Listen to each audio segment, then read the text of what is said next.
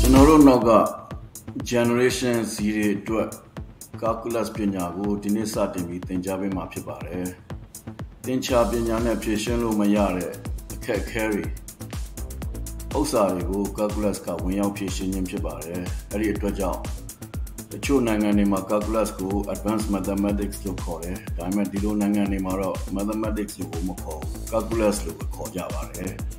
။ engineering ကျောင်းသားတွေအတွက်သိအရေးကြီးတယ်။ engineer ပြဿနာတွေ engineer ပု္ပ္ပာတွေ engineer design တွေ project တဲ့နေရာမှာ calculus ကမရှိမဖြစ်လိုအပ်တဲ့ပညာရပ်ဖြစ်ပါတယ်။အဲဒီတော့မောင် engineer တို့မတ် engineer တို့နော်ကရာဆောက်ရင်လည်းတရုတ်ကလာဆောက်ပေးလိုက်အဆောက်အဦဆောက်ရင်လည်းစင်ကာပူကလာဆောက်ပေးလိုက်အဲ့ဒါဆိုရင်တော့တိတ်လုံးမဖြစ်ဘူး ကိုယ့်အကိုစောင့်နိုင်အောင်လည်းကြိုးစားကြအောင် calculus ပညာသေချာလေ့လာပြီးလို့ရှိရင် civil engineering ပညာရပ်တွေကိုလည်းပို့ချပေးဦးမယ်နော်ကျွန်တော်အချိန်ရရင်ရသလိုသင်ချာပညာရပ်တွေဖြစ်တဲ့ geometry trigonometry နဲ့ algebra ပညာရပ်တွေကိုလည်းပို့ချပေးသွားမှာဖြစ်ပါတယ်။ကဲအခု calculus ကိုစာကြည့်လိုက်ရအောင်နော်။သင်ချာမလုံနိုင်တဲ့အလုပ်ကနှစ်ခုပဲရှိတယ်နော်။အဲ့ဒီနှစ်ခုကိုပဲ calculus ကလုပ်ပေးတာ။ ဆိုတော့ two goals of calculus တဲ့နော်။နံပါတ်1က rate of change of something with respect to something ရှင်းရှင်းပြောရင်တော့ slope ကိုရှာတာပါပဲ x နဲ့လိုက်ပြီး y ရဲ့ပြောင်းလဲနှုန်း y နဲ့လိုက်ပြီး x ရဲ့ပြောင်းလဲနှုန်းအဲ့ဒီမှာ curve ကိုဖြတ်သွားတဲ့ tangent ကိုကြည့်လို့ရှိရင်အဲ့ဒီ tangent က curve ကို point တစ်ခုမှာပဲဖြတ်တယ်အဲ့ဒီတော့အဲ့ဒီ curve ရဲ့ function ကိုသိရင်အဲ့ point ရဲ့ coordinate ကိုသိတယ်အဲ့ဒီ coordinate တစ်ခုတည်းကိုသိုံနဲ့ သင်္ချာပညာမှာအဲ့ဒီ tangent line ရဲ့ slope ကိုမရှာနိုင်ဘူးသင်္ချာပညာမှာက slope ကိုရှာလို့ရှိရင် point နှစ်ခုသိမှရတယ်နော်ဒါပေမဲ့ calculus က point တစ်ခုတည်းသိုံနဲ့ရှာနိုင်ပါတယ်အဲ့ဒီလိုသင်္ချာပညာနဲ့ရှာလို့မရတဲ့ slope ကိုအဲ့ဒီ tangent ရဲ့ slope ကိုရှာတဲ့ calculus ပညာကို differential calculus လို့ခေါ်ပါတယ်ဒါ derivative ပေါ့နော်နံပါတ်2အနေနဲ့ calculus ကဘာလို့ပေးနိုင်လဲဆိုရင်အဲ့ဒီနံပါတ်2မှာဆွဲထားတဲ့ curve လေးရဲ့အောက်က area ကို x limit a နဲ့ b နှစ်ခုပေးထားလို့ရှိရင်အဲ့ဒီ curve လေးရဲ့အောက်က area ကိုရှာလို့ရပါတယ်။သင်္ချာပညာကမရှာနိုင်ဘူးเนาะဒါက rectangular လည်းမဟုတ်ဘူး triangle လည်းမဟုတ်ဘူး circle လည်းမဟုတ်ဘူးဘာမှကိုမသိတာ irregular shape ကြီး ဒါပေမဲ့ calculus ပညာနဲ့အဲ့ဒီ curve ရဲ့ function ကို limit a နဲ့ b အတွင်းမှာ integrate လုပ်လိုက်လို့ရှိရင်အဲ့ဒီ area ရဲ့အဖြေထွက်ပါတယ်အဲ့တော့ဒီနေ့ပထမရည်မှန်းချက်ဖြစ်တဲ့ tangent ရဲ့ slope ကိုဘယ်လိုရှာလဲဆိုတာစကြည့်ရအောင် calculus ကဘာလုပ်လဲဆိုတော့အဲ့ဒီမှာ point A တခုပဲသူသိတယ်ဆိုတော့ သိကြတဲ့သူရှာလို့ကတော့မရဘူးရှာလို့မရတော့ तू ကဘယ်လိုစဉ်းစားလဲဆိုတော့ရှာလို့ရတာရှာပြီးတော့ခံမှန်းလို့ရသလားဆိုတာကို तू စဉ်းစားတယ်နော်အဲ့တော့ရှာလို့ရမှာရင်ရှာမယ်ကွာဆိုပြီးတော့ calculus ကနောက်ထပ် point b ဆိုပြီးတော့အဲ့ဒီ curve ပေါ်မှာယူပြီးတော့အဲ့ဒီ point a နဲ့ point b နဲ့နှစ်ခုစလုံးကိုဖြတ်တဲ့မြင်းတစ်ကြောင်မြင်းဖြောင်းတစ်ကြောင်ဆွဲချလိုက်တယ်အဲ့လိုဆွဲချလိုက်တော့သေချာတယ် point က2 point တည်တယ်2 point တည်ရင်ရပြီ ဒါပေမဲ့အဲ့ဒီ line AB ရဲ့ slope ကိုရှာရင်အဲ့ဒါက tangent slope မဟုတ်ဘူးအဲ့ဒါ secant slope secant ဆိုတဲ့စကားကတော့ Latin ဘာသာကလာတာเนาะအဲ့ဒါအဖြတ်လို့ခေါ်တယ် curve တစ်ခုကိုနှစ်နေရာမှာဖြတ်လိုက်ပြီဆိုလို့ရှိရင်ဒါ secant line ပဲခက်တာကလိုချင်တာက tangent line ရဲ့ slope เนาะ secant line ရဲ့ slope မဟုတ်ဘူးအဲ့တော့ secant line ရဲ့ slope ကိုပဲရှာလို့ရတော့အဲ့ဒါကိုအရင်ရှာမယ် geometry မှာရှိတဲ့သူ့ရဲ့ formula က secant line slope ကိုရှာတဲ့ formula က m equal y2 minus y1 divided by x2 minus x1 slope ကို m သင်္ကေတနဲ့ပြတယ်နော်အဲ့တော့ဟုတ်ပြီ point 2 point တည်တယ် x1 y1 ကိုလည်းတည်တယ် x2 y2 ကိုလည်းတည်တယ်ဆိုတော့အဲ့ formula နဲ့ထည့်ထွက်ပြီထွက်တော့အဲ့ဒီ secant line ရဲ့ slope ကအဲ့ tangent line ရဲ့ slope လားမဟုတ်ဘူးနီးရောနီးစပ်သလားနီးလည်းမနီးစပ်ပြန်တော်တော်ကိုဝေးနေတာနော်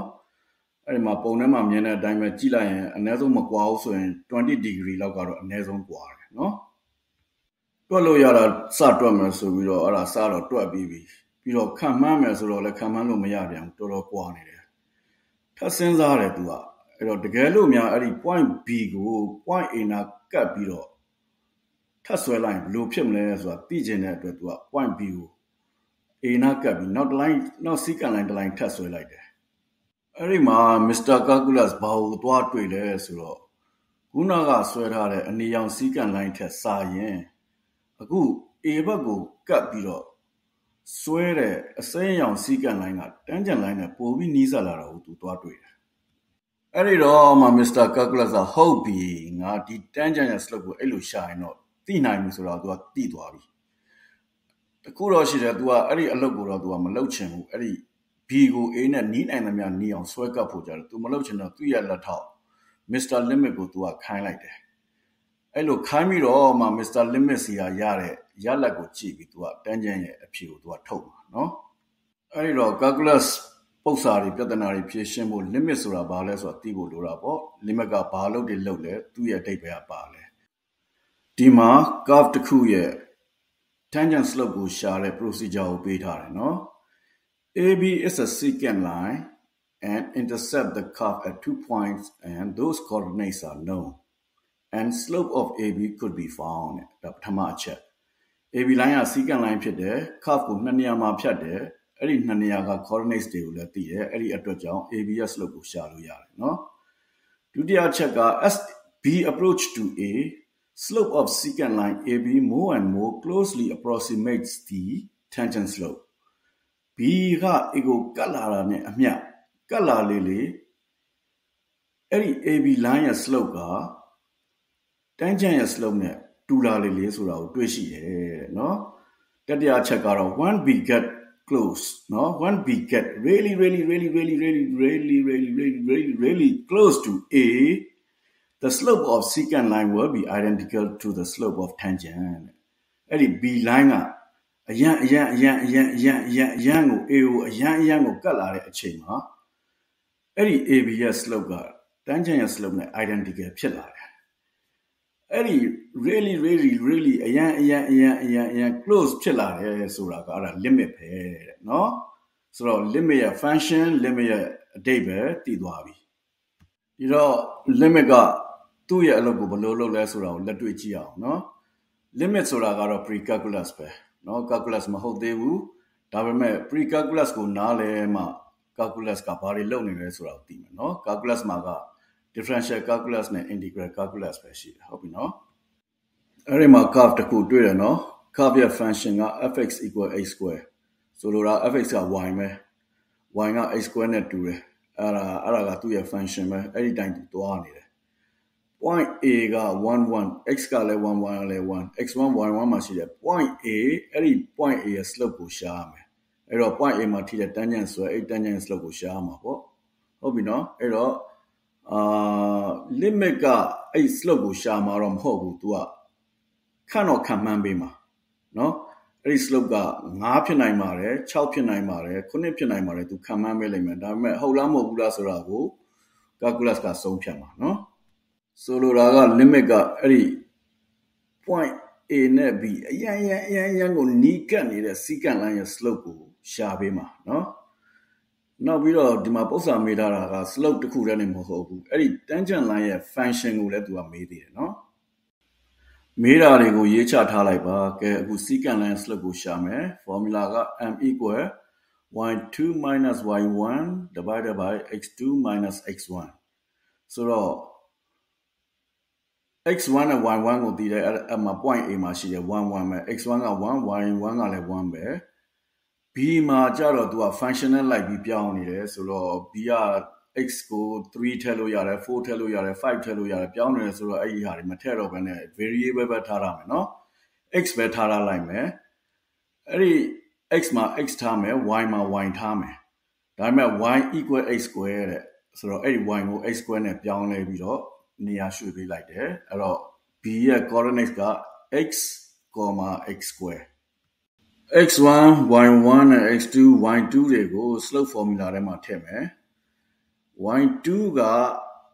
b မှာရှိတယ် x square y1 က a မှာရှိတယ်1 x2 က b မှာရှိတယ် x x1 က a မှာရှိတယ်1အဲ့ဒီတော့ x square minus 1 divided by x minus 1ဆိုတာရမယ်ဒီ equation ကိုကြည့်ပြီးတော့ထားထားလိုက် AB line မရှိသေးဘူး tangent line ကိုပဲသိတယ်နော် B point ကိုမသိသေးဘူး point A ကိုပဲသိတယ် tangent line မှာအဲ့ဒီ A မှာရှိတဲ့ x တန်ဖိုး1ကိုထည့်ကြည့်လိုက်စမ်းအပေါ်မှာထည့်တော့လဲအပေါ်မှာ0ရမယ်အောက်မှာထည့်တော့လဲအောက်မှာ0ရမယ် 0ကို0နဲ့စားတော့ဘာရလဲဘာမှမရဘူးအဲ့မှာ scientific calculator မှာတွားပြီးတော့တွက်ကြည့်လိုက်0အစား0က mathematical errors လို့ပြလိုက်မယ်ဆိုလိုတာကသင်္ချာကအဲ့ဒါကိုတွက်လို့မရဘူးเนาะအဲ့ဒါအဖြေမထွက်ဘူး1ကိုကောက်ထည့်လိုက်တယ်ဆိုတာ A နဲ့ B နဲ့ထပ်သွားပြီးတော့ point point နဲ့ဖြစ်သွားပြီး line မရှိတော့ဘူးအဲ့ဒီအတွက်ကြောင့်တွက်လို့မရဘူးအဲ့ဒီအချိန်မှာ limit ကဝင်လာတယ် limit ကဘာတိလဲဆိုတော့1ထက်လို့မရပါဘူးမဲ့1နဲ့တော်တော်နီးနီးဆက်ဆက်ကိုထည့်လို့ရတယ်1ကလွယ်လို့ဘာထက်ထက်အဲ့ဒါ0မဖြစ်ဘူးအဖြေကိုတွက်ထုတ်လို့ရတယ်အဲ့ဒီတော့အဲ့ဒါကို तू က calculus ကခိုင်းတဲ့အတိုင်း तू ကလုပ်ကြည့်လိုက်တယ်နော် point b ရဲ့ x coordinate မှာ तू ကအရင်ဆုံး1နဲ့နီးနီးဆက်ဆက်1.5ကိုထည့်ကြည့်လိုက်တယ်နော်ထည့်ကြည့်လိုက်တော့ slope ကဘယ်လောက်ရလဲဆိုတော့2.5ဆိုတာထွက်လာတယ်အဲ 1ထက်ထပ်နီးလို့1.5ထက်ထပ်နီးလို့ရသေးတယ်1.1 1.1ထပ်ထည့်တော့သူက slope က2.1ဆိုတာထွက်တယ်နောက်ပြီးတော့သူကအဲ့ထက်နီးလို့ရသေးတယ်ကွာဆိုပြီးတော့1.001ထပ်ထည့်တယ်အဲ့တော့ secant ရ slope က2.001ဆိုပြီးထွက်လာတယ်ထပ်ထည့်သေးတယ်သူက1.0000001ကိုထပ်ထွက်ထပ်ထည့်လိုက်သေးတယ်အဲ့ဒီတော့ထွက်ကြည့်လိုက်တော့အဖြေက2.0000001ဆိုတာကိုသူရတယ် အဲ့ဒါတော်ပြီတဲ့ဟလားအဲ့လိုရလာပြီဆိုတော့ तू က तू တိတော့တိတယ်ဒါသူ့ကိုကတ်လာပြီဆိုတာဟုတ်နော်အဲ့တော့ဒါသူ့အလုပ်ပဲသူ့အလုပ်ကပြီးသွားပြီအဲ့ဒါကို तू ကဟိုဟာ calculus ကိုပေးလိုက်တယ်အဲ့တော့ Mr. calculus ကသိပြီအဲ့ဒီ tangent slope က2ပဲဆိုတာဟုတ်နော် तू က double check လုပ်တယ်အဲ့ဒီပြဿနာပေးနေတဲ့အောက်က denominator က3ညကိုသူဖြောက်ဖို့ကြိုးစားတယ် domain ကိုဖြောက်ဖို့ကြည့်လိုက်တော့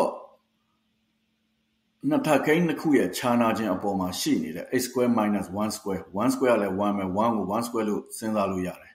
เนาะအဲ့တော့ x square minus 1 square ကိုသူအပေါင်းတကွင်းအနှုတ်တကွင်းခွဲလိုက်တယ်အဲ့တော့ x plus 1တကွင်း x minus 1တကွင်းရတယ်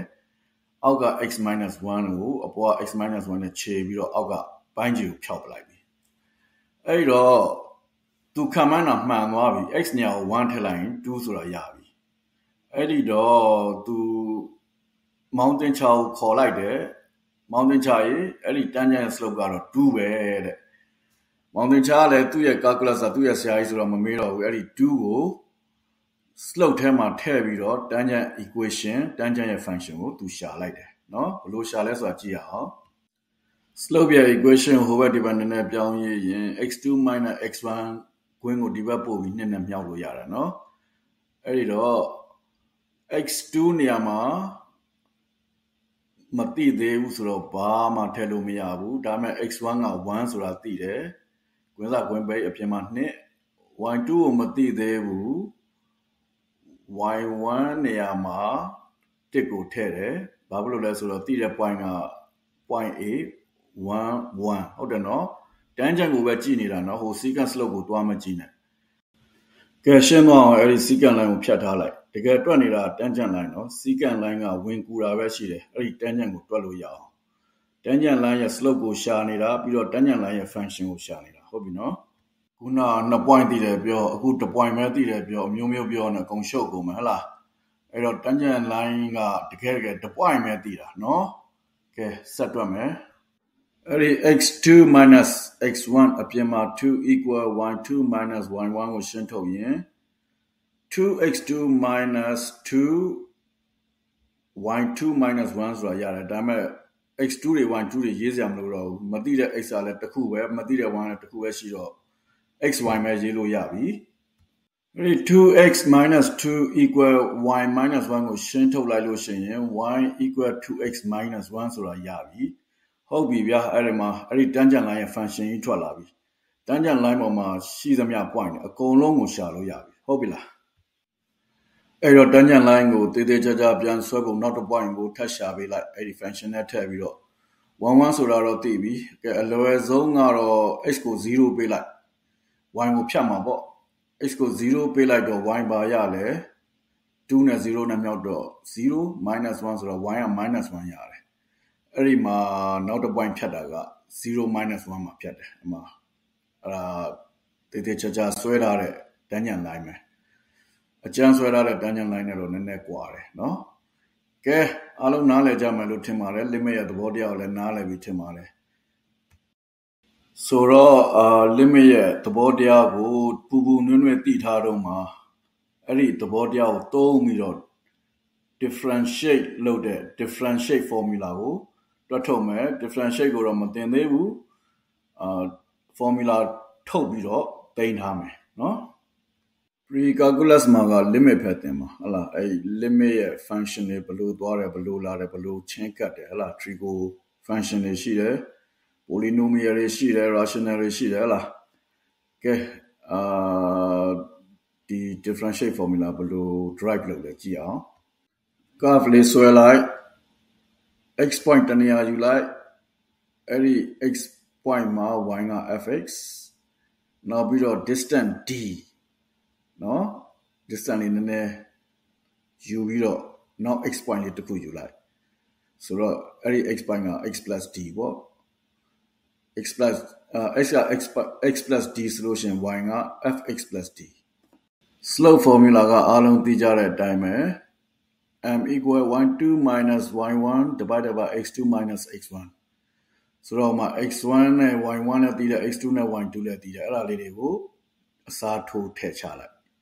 ဆိုတော့ fx plus d minus fx divided by x plus d minus x